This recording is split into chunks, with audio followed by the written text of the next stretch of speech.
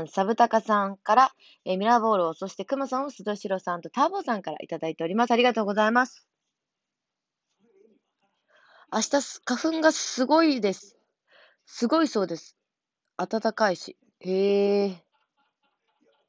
明日花粉がひどいみたいです。気をつけてください。もう私はもう、今日がすごい、夜になって、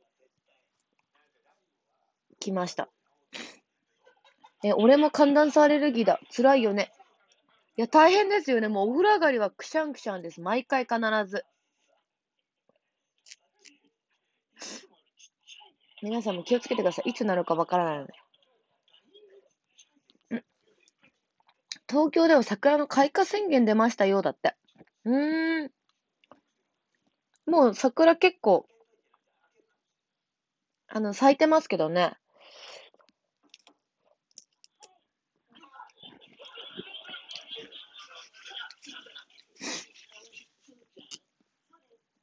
さあ。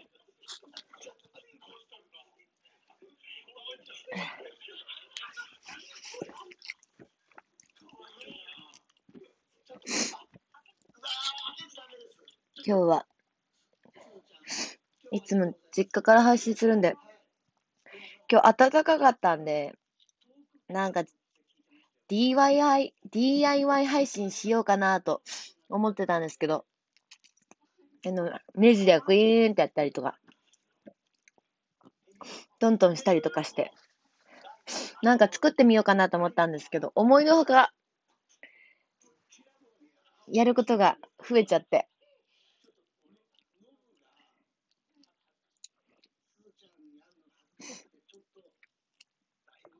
明日は月曜日なんで、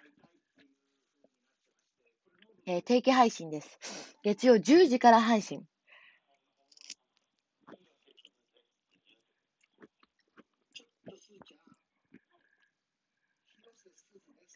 何作るのって。あ、DIY で？いや、なんかさ、作っ、切ったみたいなのありますよね。DIY でやるやつ。もう何でもいいから作ってみたい。棚とかさ、簡単なのから。なんか一回そういうところで作ったことあるんですよ。でも作れるき、なんか専門店みたいなので。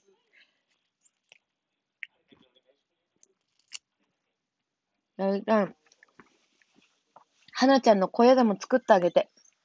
なんか花の水飲むところとご飯食べるところの、あの、高くする台みたいなのは作ってあげたいなと思ってます。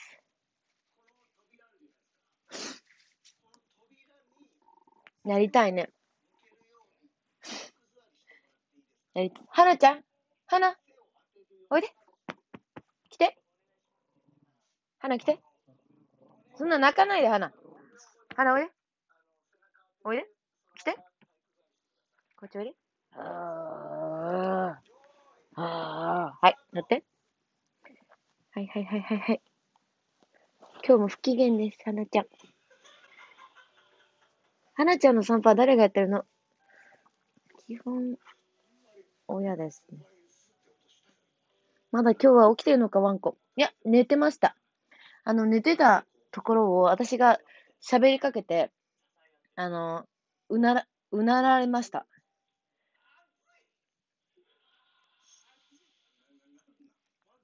花ちゃんね、お眠してたんですね。はい。あ、まさかのテレビ千鳥か。あ、そうです。テレビ千鳥つけながら見てます。起こすなよってきちゃった。起こされた不機嫌なワンコ。だから怒られちゃうのね。いいよ、ここで寝てない。花ちゃん。えー、無表情だから機嫌がわからない。そうね。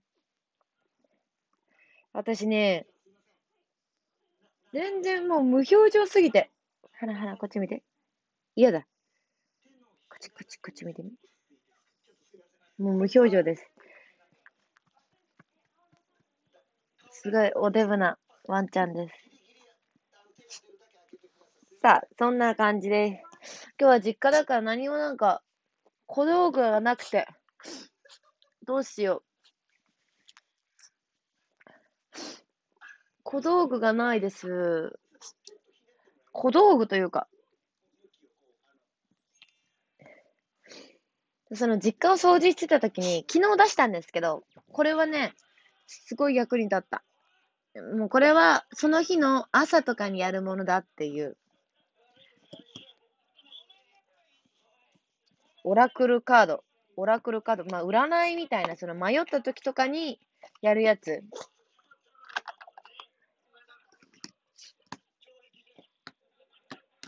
の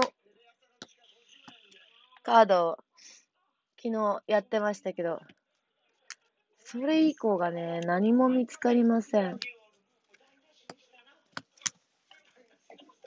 私の怖い占い、キッカの怖い占いってきてる。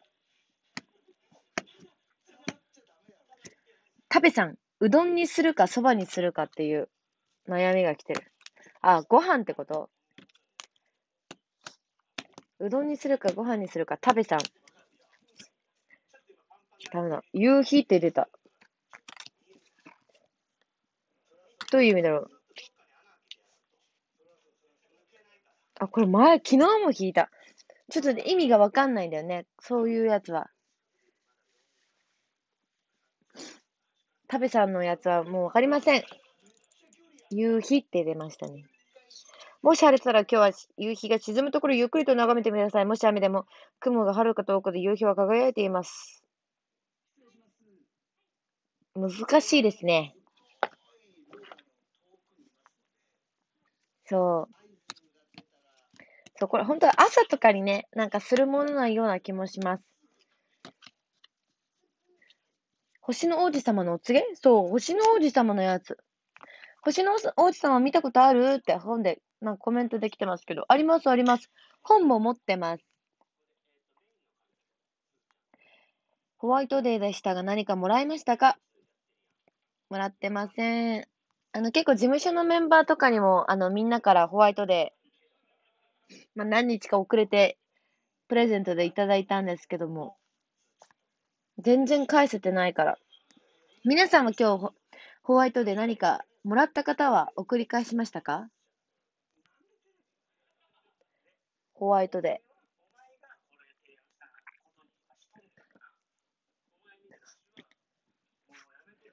実家のお宝発掘企画終わったのか。あ、まだありますよ。全然あるけど、だいぶ綺麗に片付けちゃったから、パッとは出てこないかもしれない。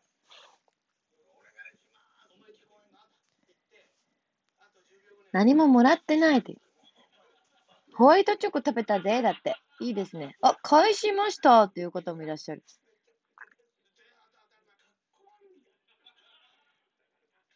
推してるアイドルにホワイトチョコを渡しました。捨てられてませんように。まあ、そんな言うてみんな、ここ見てる方は関係なかったのかな？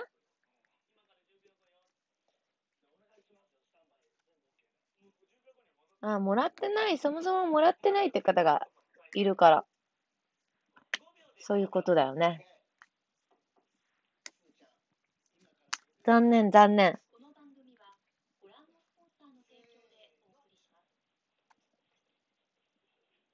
えー、母ちゃんにもらったので、スシロー連れて行った。いいですね。いい親孝行。いや、母ちゃんって呼ぶのいい。羨ましい。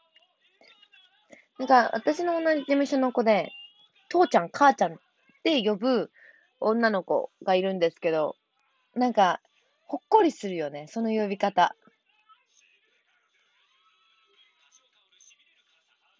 ねえ。えー、犬が出てると聞いて見に来ました。あ、そうそう。にゃんにゃんにゃん。ほら、ワンちゃん。ほら、ワンちゃん。オレブのワンちゃん。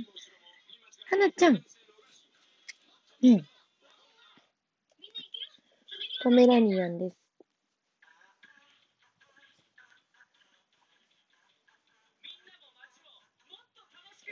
ダディとかマムとか言う人もおるのだろうか。みんななんて呼んでるんですか？母ちゃん、父ちゃん、お父さん、お母さん、親父、おふくろ。な、何呼びが多いですか？ダディ、ダディ、マムって言ってる人いるかな？海外のね、環境で育ってる方とかは、そんな気もするけど。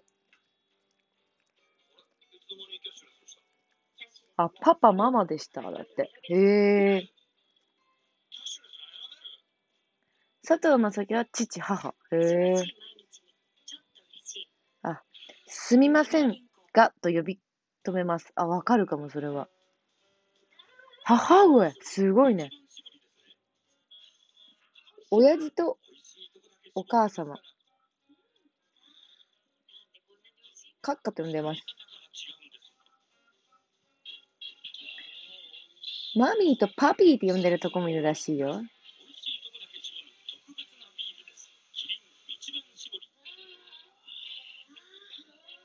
へえ。マミー、ダディはいないね。やっぱ海外でさ、あの、活動してる人とかだったらわかるかも。いるかもね。表向きはお母さんだけど、実はちゃんと呼ばない。あ、わかる。それはわかる。私もその一家です。うーん。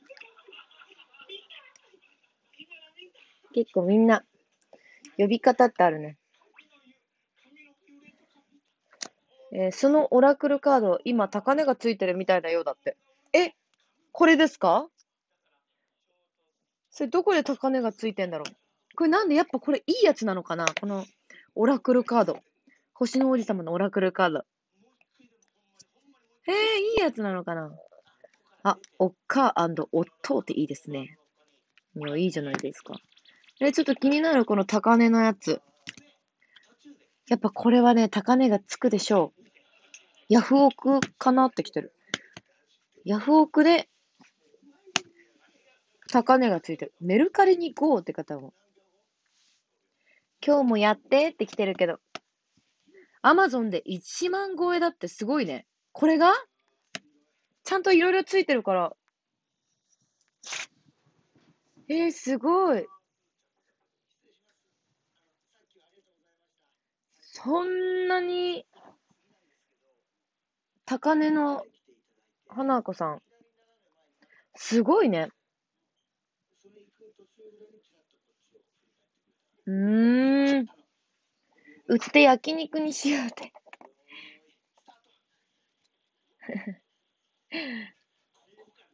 いや、でもこれ意外と当たるとき当たるからね。マスミン、今日もやってって来てるから。やっぱ需要がある人にはある。でも当たらない人には当たらない。なんか昨日はこのオラクルカードをこの、まあ、悩んだ時に自分で1枚引いて、その時に出たやつでお告げみたいな感じなんですよね。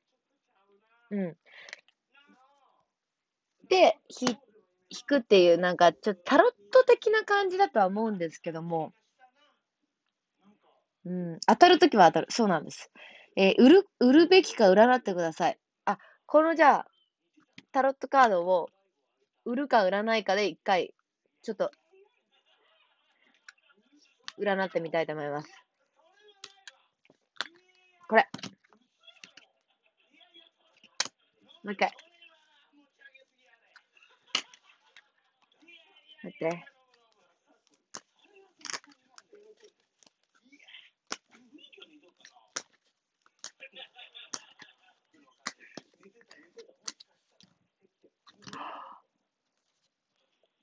忘れるって出た。忘れる。19番忘れる。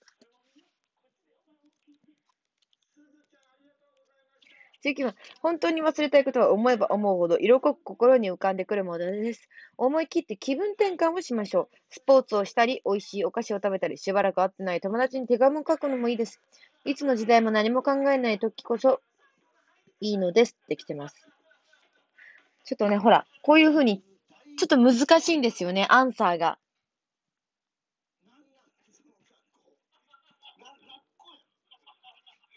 これダメです。だから、売ることは忘れなさいってことです。雑念を忘れると。えー、でもすごいね。難しいね、でもこれは。解釈難しいのか。そうですね。なんか、質問と答えが結構合わないときは合わないな。えー、キッカーさんのライブに行くべきか占ってと来てます。母さんのライブに行くべきか占って。やんやんさん。お、愛って出ましたね。愛。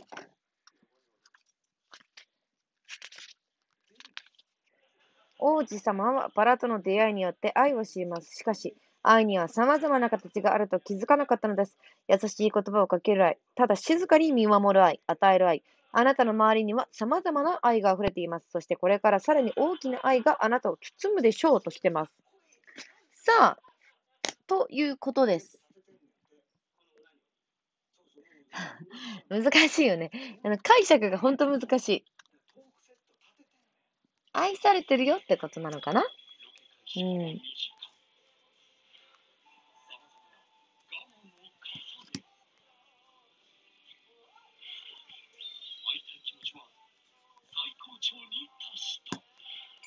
えー、網膜剥離の、網膜剥離の治療を受けるか受けないか占って3万円、3万円からなり。あ、網膜剥離の治療は3万円かかる。それを受けるか受けないか。中野4475さん。これまたでも全然違うような答え出ちゃいそうですけども。お、出ました。未知。37番、ミッチ。まあ、みんなコメントでは受けなさいよって出てますけど。えー、知的な好奇心が高まっています。これまで全く想像してなかった分野の才能が開花したり、大きな成長を遂げるでしょう。今まで体験のしてしたことのない物事に恐れを抱かなければ、すべてはうまく運びます。ということです。すごい。だから、受けた方がいいですよってことらしいです。中野4475さん。まあ、コメントでももちろんあの、このクエスチョン来た時から、受けなさい、受けた方がいいですって絶対、悩まず受けましょうと。うん。いいですね。当たってきてるかもしれない。えー、つかささん、猫飼うか迷ってます。占ってください。36番。大切な場所。え疲れた時、ほっとしたい時、リラックスできるあなただけの場所ありますか？忙しすぎる日々の中でも大切な場所で時間を過ごして自分自身と対話する必要がありそうです。ぼーっとする時間が心を回復させます。だからリラックスできるあなたのだけの場所はありますか、まあ、帰ったことですね、これは。猫を飼って、あの、猫を飼ってリラックスできるお家を作りましょうということです。まあでも、ぼーっとする時間が心を回復させるってことなんですけども、猫と一緒にぼーっとする時間が、もしかしたら心を回復させるのかもしれません。はい。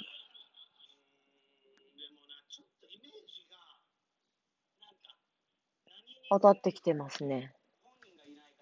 当たってきてます。まあ、こんな感じで 最近ずっと困った時、この星の王子様のオラクルカードずーっとやってます。ふーんってきた。猫と一緒にぼーっとするんだね。考えてみる。そう、基本猫ね、あの、私も飼ったことありますけど、ぼーっとしてますからね。まあ、積んでるというか、なんというか。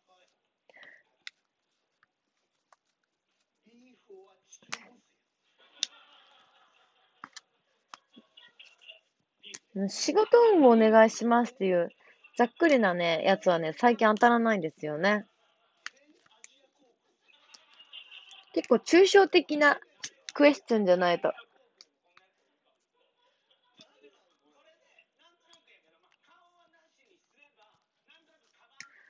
えー、わらわが今何考えてるのか占ってみ。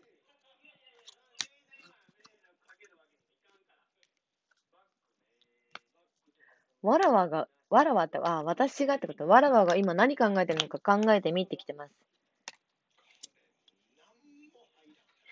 もうほんと、さっきから恐ろしいほどにね、このヤマトさんのわらわが今何考えてるのか占ってみってきてから、一回引いたんですよ。そしたら別れって出て、さっきまた、たくさんたくさん書き回して、また引いたら別れって出たんです。だから、多分ヤマトさん、何か別れが近いのか、何か大切なものが何か別れが近づいてるかもしれませんね。大切なものだったり。山田さん。なんだろう、あなたが会いたい人はいつまでも心の中で笑っているはずです。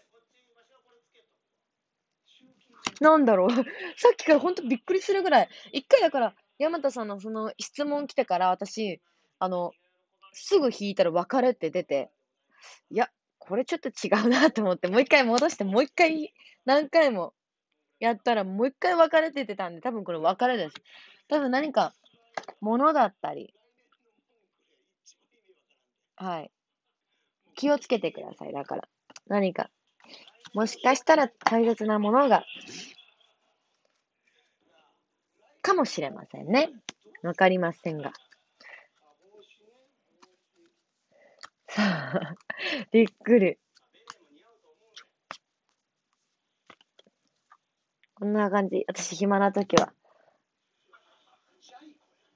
ちゃんとやってます。あ、ちょっとね、はなちゃん、重いから降りて。すごく重い。ねこっち来ててじゃん。はな、重いから。足つった。重い。さ。うん。今までありがとう。キッカとの別れ、やだ、悲しい。えー、赤石のポチさん、今年はゆうちゃんに会えるのかなって来てます。占ってみましょう。今年はゆうちゃんに会えるのかな？なかなか、ずっと、あの、会えてないので。はい。メンテナンスっていう初めて引いたカード。メンテナンスって出ました。王子様は綺麗な星を守るため、バオバブの木を根を抜いてメンテナンスをしていました。大事な自分の星をバオバブの木でいっぱいにしないためです。どんなに小さな違和感でも気づいた時に取り除いておけば安心。あなたの中のバオバブは、バオバブは一体何ですかと来てます。どう？これ意味がわかる？大事な自分の星をバオバブの木でいっぱいにしないためです。えー、どんなに小さな違和感でも気づいたときに取り除いておけば安心。あなたの中のバオバブは一体何ですかと聞いてます。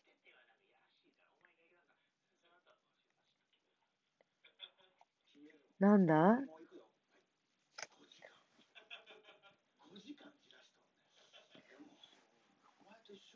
あ難しいね。この解釈はすっごい難しいかも。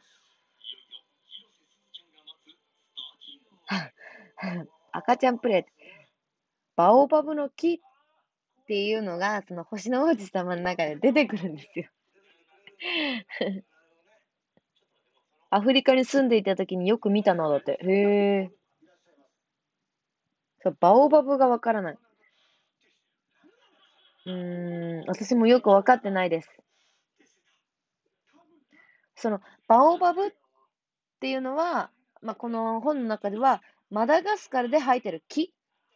だから、バオバブ、木を取り除かないとキッカーに会えない。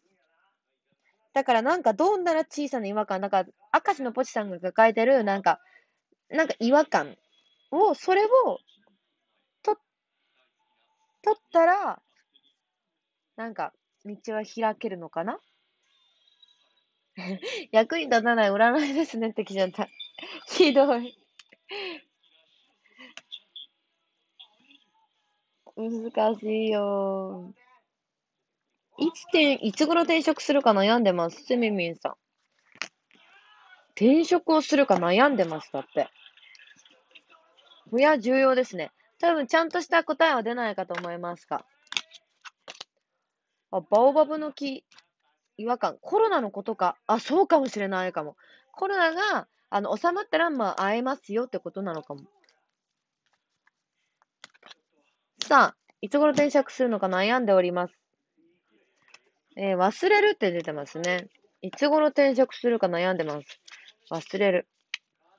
本当に忘れたいことは思えば思うほど色濃く心に浮かんでくるものです。思い切って気分転換をしましょう。スポーツをしたり、美味しいお菓子を食べたり、しばらく会ってない友達に手紙を書くのもいいです。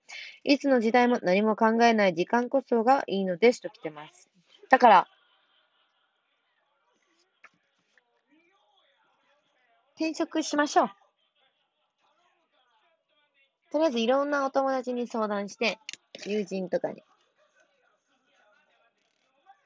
うん。それか、まあ、ほら、思い切って気分転換をしましょうって来てるので。気分転換をしたくなった時か、だって。そう。えー、2年前に50歳で転職をしました。ゴマキングさん。すごいですね。へえ。結構さ、あの、住民票とかがさ、まあ私まだ茨城なんですけども、難しいですよね、そういうなんか。東京で住んでるときは、いろいろ支払いのものとかさ、確認とかで必要になった時とかが結構大変で。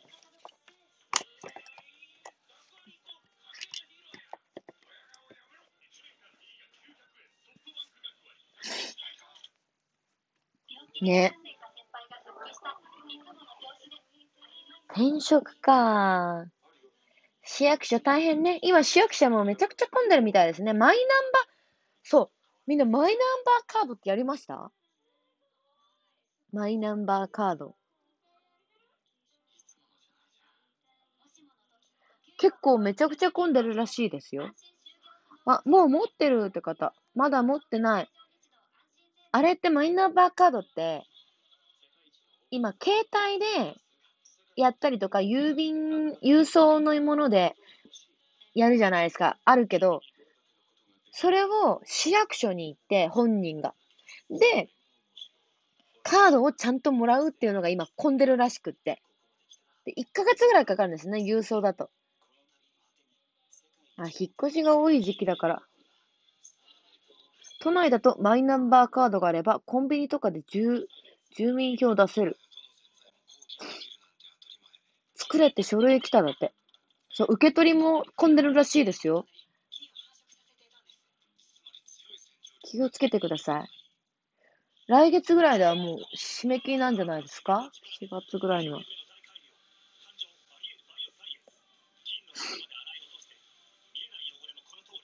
えっ、と、郵便手続きで役所で受け取る1ヶ月ぐらいでした。そう、結構、あの、時間が、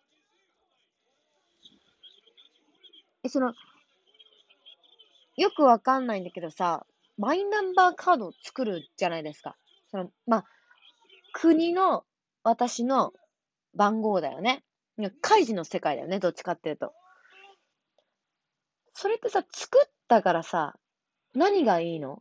まあ、作んないといけないとは思うんですけど、その作ったことによって何ができるのかなその持ってるだけだったら本当紙でもいいじゃないですか。あ、マイナンバーカードは今度健康保険証にもなりますよ、だって。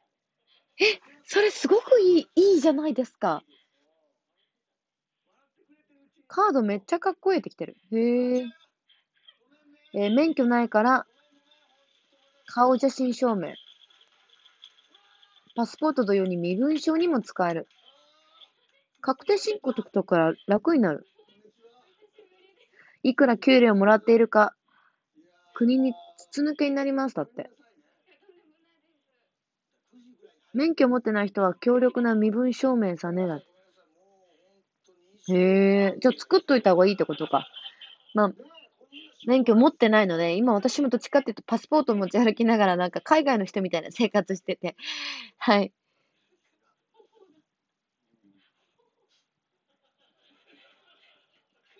まあ、免許証あればね、一発ですけどね。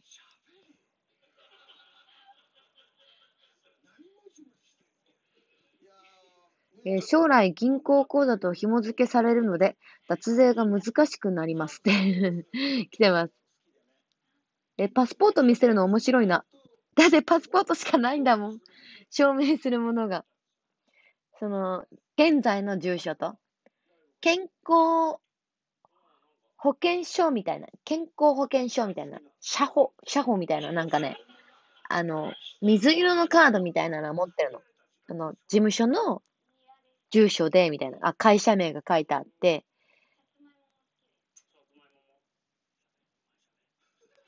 うん。っていうのは載ってるんですけど、パスポートなくしたら大変です。本当ね、そうですよね。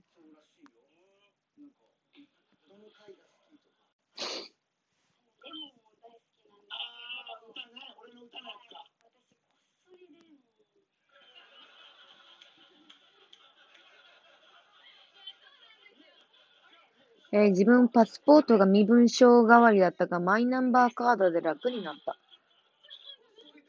へえ、じゃあマイナンバーカード作った方がいいってことですね。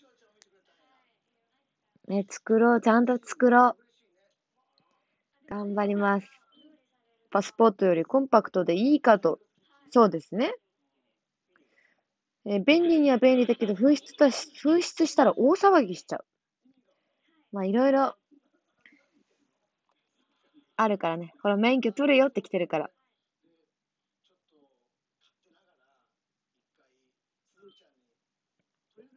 らしいです。ちょっと、そろそろ頑張って取ってみようかな。さあ、スペシャルギフト追加で、ロンゲさん、コッシーさん、ターボーさん、ソフィラさん、そしてセシリさん、レイノリッキさん、ドラートヒビトシさん、ヤンヤンさん、ハナジさん、えー、君は誰さん、ヤンヤンさん、ターボーさん、明石のポチさん、そして田中さんからスペシャルギフトいただいています。ありがとうございます。免許頑張れってすごい来てます。あの免許も、まあ、いつ行っても一緒かと思うんですけど、混んでるのがね、すごい嫌なので、混んでるっていうのが嫌ですね。えー自動車免許応援してます。梶島さんでも取れたし。うーん。車運転するキッカー見たい。いや、運転してみたいな。今日なんかテレビ番組で、その、その運転のプロみたいな人が、その、駐車場を本当いろんなさ、お家のさ、駐車場って狭いところとかあるじゃないですか。で、そういうところを本当狭いやつを駐車入れてみるみたいなテレビやってて。私結構、運転雑そうなんで、私すっちゃいそう。すぐ。あ、でも、キッカ運転うまそうって来てますよ。え笑いながら事故りそうなイメージがあるのはなぜって来てます。いや、そう、私も結構、なんかね、あの、多分運転は上手い方だと思うんですけど、運動神経もいい方だと思うから、なんか運動神経みたいな、反射神経みたいなので運転上手いとかあるんでしょ？うん。でも、ちょっとしたこととかさ、がさ、雑だからさ、なんかちょっと怖いんですよね。私もすぐ新車に傷つけそう。性格と運転は別だと思いますよ。赤は止まりだからね。わかります。それはわかります。えー最近の車なら、運転のアシストあるから、すりそうになったら、警告音出ます。あ、ピピーみたいなの出ますよね。でも、それで気づ、あ、まあ、気づけるか。それで大丈夫か。えー操作はいいけど、ルールがダメそう。なんか難しい、すごいなんか、私結構自転車とかも乗るので、なんか自転車と車って大体同じ感じで信号を渡るじゃないですか。なんかわか、都内とかだとよく、これどうなってるのっていう信号はたくさんあって、それはいまだにルールが分かってないです。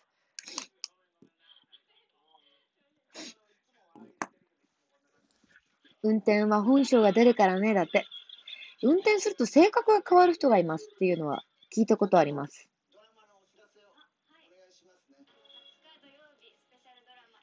えー、字の性格が出ます。キッカで言えば、几帳面のところとかだって。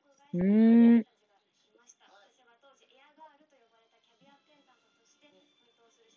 いや、難しい。地元だけにしましょうって。まあでも東京でなかなか、あの、車運転することは難しいと思うので、でもいろいろなんかその、私、茨城県出身なんで、茨城の方の運転免許、あ、運転、あ、免許センターで車の免許を取るか、東京で取るかいろいろ悩んでた時に、まあ、東京一回も車で行かないってことは絶対ないと思うので、東京のあのごたごたした街並みを、あの、訓練生たちって運転するじゃない、運転するんですよ。あの、練習。だから、東京の地理で運転免許取っといた方が、東京は怖くないかなっていうのは、一理あると思います。うん。茨城だと路面電車の信号とか講習ないですかねどうなんだろう。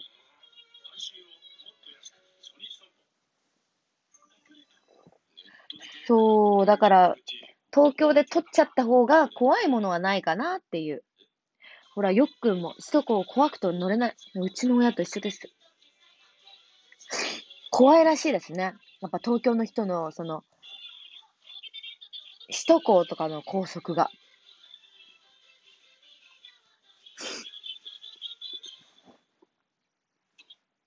そう。まあ、まずは自転、自動車学校の門を叩きなさい。そこからよって来てます。はい。頑張ります。頑張りますって言いながら今年も終わりそうだけど。なるべくね、周りがたくさん友達が結構取れば。なんか誰かと一緒に行きたいんですよね。その一人で何かに行くっていうのがすごいできなくて。まあ、例えば同じ事務所のまだ免許取ってない子とか、同年代ぐらいで、の子とかと一緒に行くなら、行きたいです。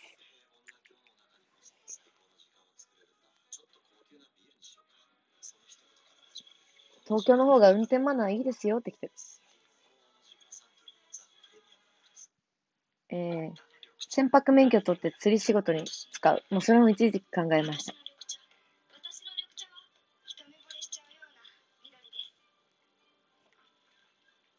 そんなこと言ってたら行く機会なくなるぞって来てます。ほんとそう。いや、でもなんか誰か後押ししてくれないとな。なんか行こうって頑張ろうと思えない。ニコちゃんは？って。そう、戦国南20、も今年30かな。今日は、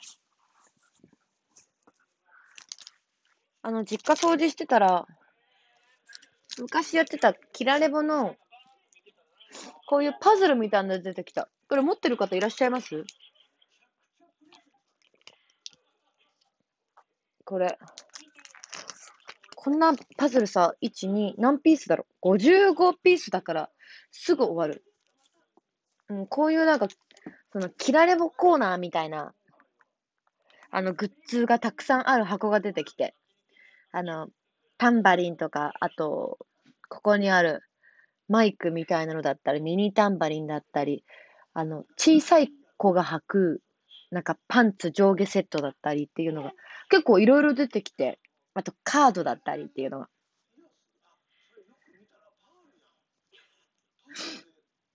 あ、貴重な品で、あ、さすがに持ってる方がいないね。開けない方がいいんじゃねって来てる。あ、これ結構貴重なんですか？みんな持ってないの？でも多分あの、本、本社から送ら、もらったっていうか、なんていうの？その、ゲームの、本社キラレボのゲームの方からもらってるやつだから、あ、持ってないです。置いときましょうっていう。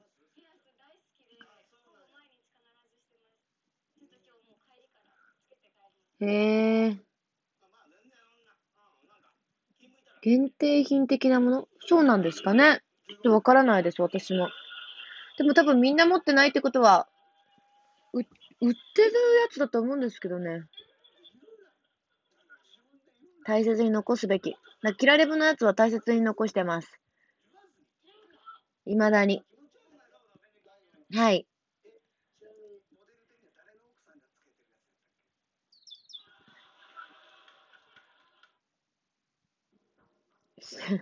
財産やん。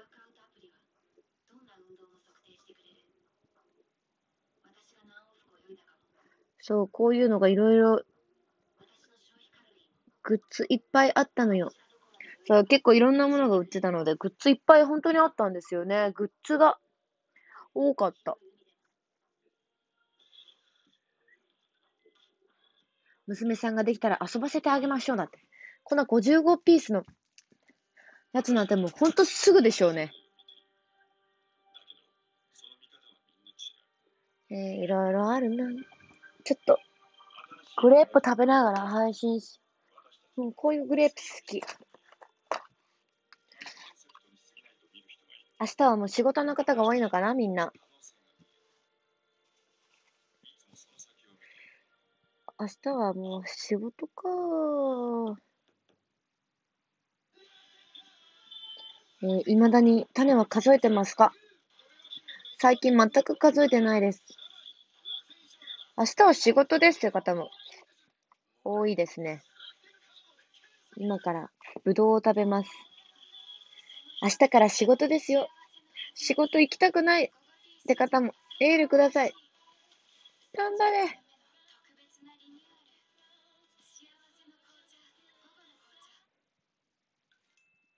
さあ、今週末は21ですね。久々のライブです。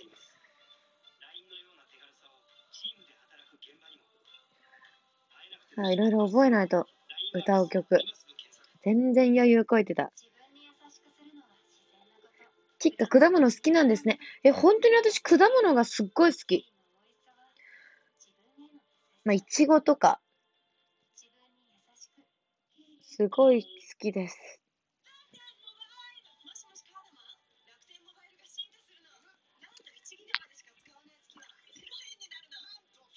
がやっぱり実家帰ってくるといろいろ食べ過ぎちゃって、ほんとなんかすごいカロリー高いものばっかり食べちゃうじゃないですか、実家って。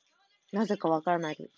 でさ、張っちゃうんだよね、お腹が。あの、食べ、食べて食べて食べて出ないから張っちゃう。今すっごい苦しいのに食べてる。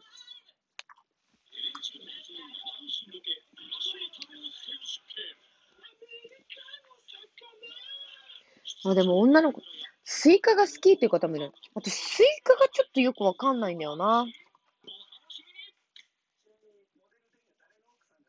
日本は果物が高いらしいです。早くね、海外行きたいですね。海外行けるようになるまで。なんでブドウって来てる？ぶあ、ブドウがすぐ目の前にあったので。果物苦手な方って多いから。皮むくのがめんどくさいとか。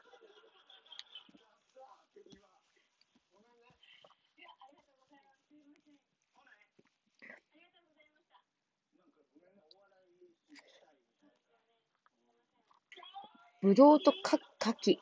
柿が好き。えー、えー、海外で写真集を撮ってきてください。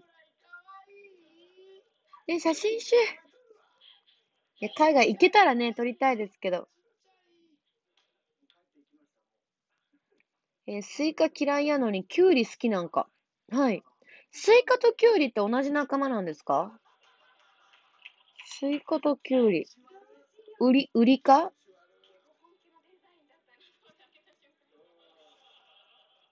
スイカとキュウリって味一緒やんってきてる。いや、味一緒ではないですけど、あ、どっちもウリ科なんだ。へえ。まあでも、キュウリって味、そのままでは基本そんな食べないですからね。なんか味濃いのつけたりとか、ドレッシングつけたりとか、お味噌つけたりとかして食べるから食べれる。でも、キュウリってさ、あ、キュウリじゃない。スイカって甘いのに当たればあれですけど、なんか実家で育てたやつとか、その辺の畑で育てたやつも食べたりするとさ、なんか、なんとも言えない薄々じゃないですか。な、ああいうの食べ続けてたからかもしんない。あと、すごい濃度が、甘い密度が高いスイカも、甘すぎるのもあんまり好きじゃないかもしれない。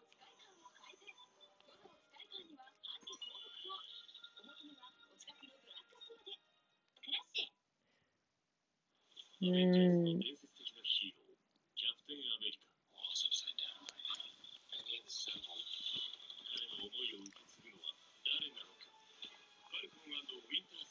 ねえ、果物狩り行きたいな。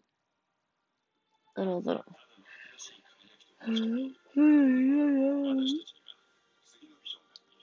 もう配信してるとずっと食べちゃうから。なんか誰か止めてください。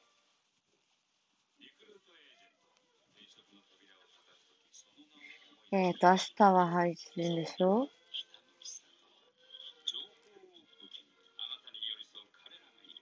スイカの種数えるの？スイカの種はもう数えたことはあります。茨城は何が有名？果物。メロンって言われてますね。茨城の生産トップメロンじゃないですか？果物ジャンルで言うと。かな？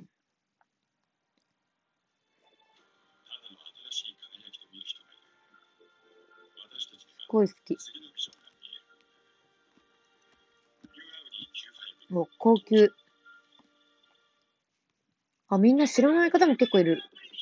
知らないの？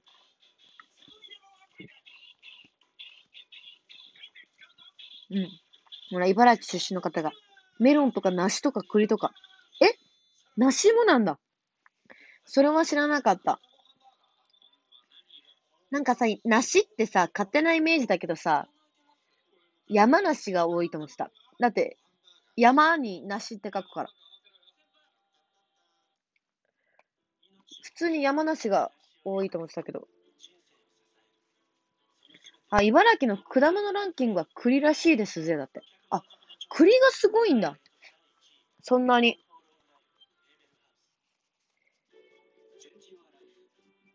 山梨は桃やぶどうだって。茨城の栗は美味しいだって。へえ。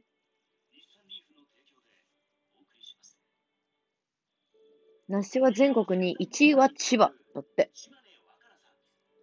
なんか、よくさ、茨城でさ、お芋もさ、干し芋みたいなのがすごい売ってるんですよ。茨城名物なのかな？干し芋。食べたことある？あります？茨城の。多分あれ生産1位じゃないですか？芋。わからないですけど。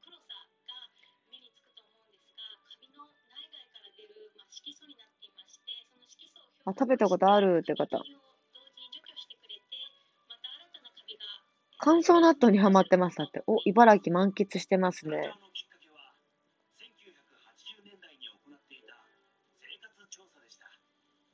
ありますって。干し芋美味しいやつ美味しいですよね。すごい。食べてほしい。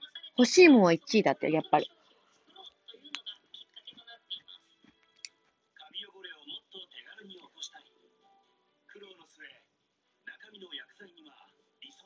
干し芋食べたいけど、ちょっと高いだって。ああ、そうなんだ。なんか、まあ、買うことももちろんあるけど、そっか、ちょっと高いかもしれない。お土産物にすると干し芋。食べてみてください、ぜひ。え、家でも作りますって方いる。干し芋あると延々食べちゃう。なんかさ、あのさ、細さがずるいよね。細長い感じとかさ、ちぎって食べれる感じが、あの形は計算されてるなって思います。まあ、干すから、そっか、あの形になるのか、どっちにしろ。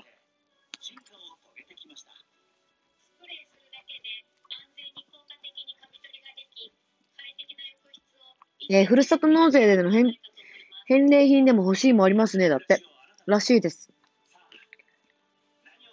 ふるさと納税。結構美味しいものが意外とあります。まあでも、いいよね。その果物とかが多い、なんか農家の人とかさ、大変だとは思うけど、農家の娘とかやっぱりいいよね。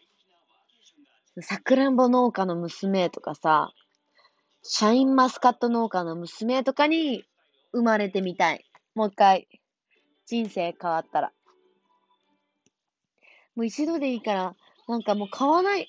え、それって買って食べるもんなの？って一度でいいから、もうドヤ顔で言ってみたい。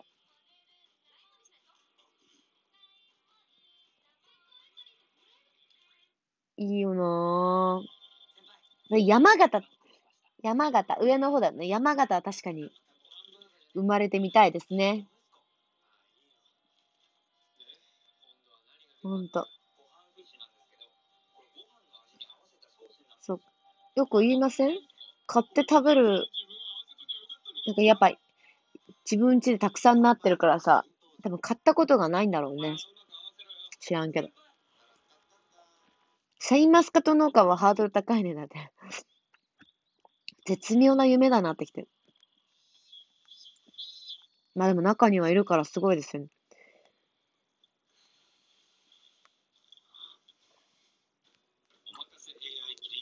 うん。まあ、雪国に生まれた方、雪国は大変ですよって来てるので、大変なんだ。えー、農村でいいならうちに嫁に来る？って来た。ありがとうございます。どんどん剥くのが上手になるの、キカちゃん。あ、もうぶどうね。もうぶどうはもうおしまい。農薬いっぱいかかってるから。さあ。はなちゃん、そんな目で見ないね。こっち来て。おいで。はなちゃん。寝てたのかい？お水飲む？来た。ペコペコペコペコ来た。お水飲む？すごい。あの、口の中がすごい熱い。早く水飲んできなよ。ねえ。熱いんだ。ね。もうこの辺、鼻の、鼻のあたりがすごいピクピクいってるから、すごい多分怒ってるんだと思う。怒ってんの？怒ってるみたい。ちょっと触んない。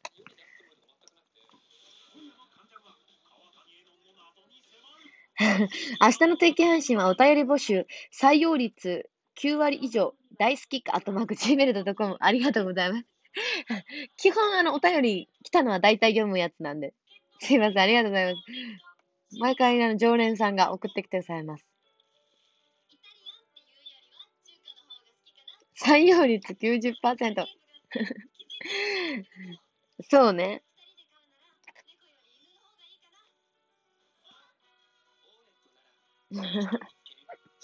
ぜひ、お便りの方待ってます。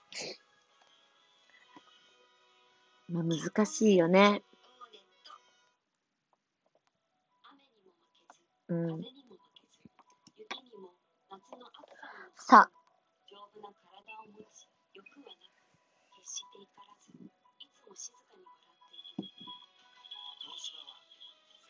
大体同じ人やもんね。そうですね。ありがたいですね。毎回送ってきてくださって。本当に。本当に陳謝。暑い。なんかさ、私実家帰ってきてさ、めちゃくちゃさ、この、よく、公民館の集まりとかで行ったらもらうようなお茶。なんていうの？この、多いお茶のさ、これいくつだろう？いくつ入ってるんだろう？245g のさ、この大いお茶のさ、缶瓶あるじゃないですか、瓶、あ、缶。これさ、すぐ飲めちゃわない？なんかペットボトルのお茶もあるんですけど、なんかさ、こういうのってさ、簡単に飲めるからさ、やっぱ飲みたいじゃないですか。それうまいやん。あ、そう、美味しいんですけど、なんかすぐ飲める。ご飯、夜ご飯時とかに、2本は絶対開けるもんね。だそういうのがさ、あれなのかな？やっぱ245の缶っていうのは、多くもなく、少なくもなくの、多分、一番いい容量なんだと思う。この240個は。え、だと思いません？缶は美味しい。そう、公民館とかでもらうやつ。なんか、集まりとかでね、もらうやつですからね。あ、ちょっと今配信してるから静かに。集まりとかで。ね、はなちゃんうるさいよ。ちょっと待ってて。そう、配信、今、あのー、うちの兄が来ました。そう、245っていうのが、あ、もっと小さいのはよくもらうだって。もっと小さいのもあるみたい。そう、うちのワンちゃん、あの、もうね、誰が来ても、こうやってワンワン吠えるんですよ。ちょっとの物音でも。そう、すごい吠えるの。だから、い意外と番犬なんですけど、あの、すごいうるさいです。今日も掃除機かけてたら、掃除機が怖い犬みたいで、もうすごいずーっとうなってるんです。もう吠えてて。そう、ねやっぱ、鼻が長い犬は、ポメとか、吠える声が大きいからね、たまにキーってなっちゃうんですけど。そう。ね、番犬だもんね、はなちゃん。ほら、そろそろ意外ともう1時間ぐらいあっという間に配信しちゃう。ほら、見て、自分の顔。あんま見たことないでしょ？なんか草。なんかさ、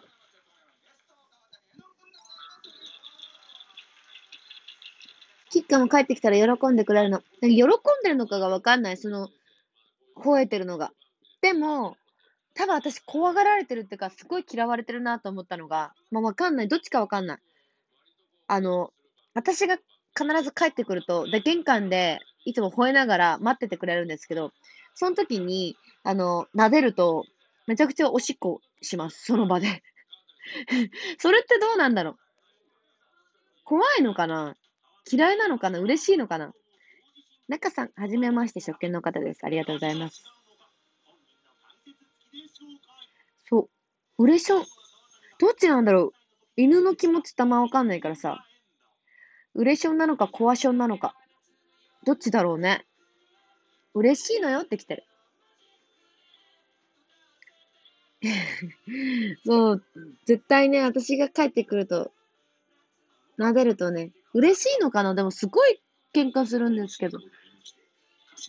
喜んでると思います。だって。じゃあいいのかもしれない。で、私が結構、あの、同じく、うーんってうなったりするんで、で、遊んだりとか、私は遊んでるつもりでやってるんですけど、そういう時はすごい吠えてきます。本気で。まあ、嬉しいんじゃないってことで。多分嬉しいんだと思います。よかった。ななちゃん一緒に寝ようね、この後。ね？さあ、この後は、えー、この後じゃない、明日は10時から、ショールーム、同じがありますので、ぜひ見てみてください。よろしくお願いします。えー、スペシャルギフト追加でターボーさん、ヤーヤンさん、田中さん、赤瀬のポチタビドシさん、デーノリキさん、セステリーさん、ターボーさんから追加でいただいております。ありがとうございます。さあ、見ますか？さあ、うっす。やめたらびっくりしたな。さあ、明日も皆さんぜひ見てください。10時からショールーム放送です。その前に1対1の 4U がありますので、ぜひよろしくお願いします。さあ、スペシャルギフト、花地さんから追加でいただきました。さあ、皆さんおやすみなさい。ありがとうございました。また、見ていただけると嬉しいです。じゃあ、そろそろお別れなので、皆さんお疲れ様でした。バイバーイ。おやすみなさい。寝ます。切ります。